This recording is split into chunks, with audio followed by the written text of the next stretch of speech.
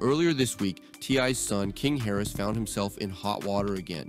King was arrested in Dunwoody, Georgia, after almost colliding with a police cruiser while leaving a gas station.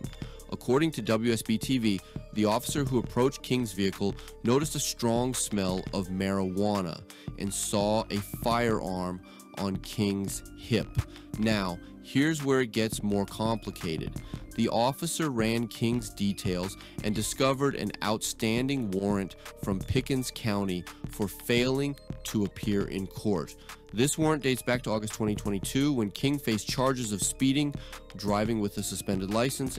During the arrest, King was cooperative. The officer had him step out of the vehicle, removed the firearm, and placed him in handcuffs without any issues. He was initially taken to DeKalb County Jail before being transferred to Pickens County, where the warrant was issued. And it wasn't just King who faced trouble.